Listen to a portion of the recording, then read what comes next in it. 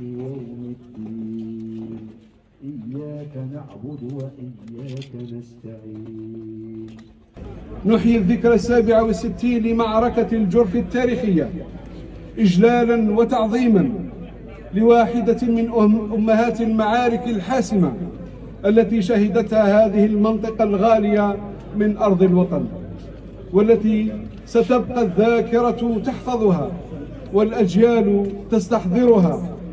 إن معركة الجرف الخالدة جاءت صدمة للاستعمار وتأديبا له على عنجهيته وغطرسته ومن أجل فك الحصار المضروب على العديد من مناطقنا التي تكالبت عليها جيوش الاستثمار في الأوراس الأشم ومناطق الشمال القسنطيني وفي كل مكان من وطننا.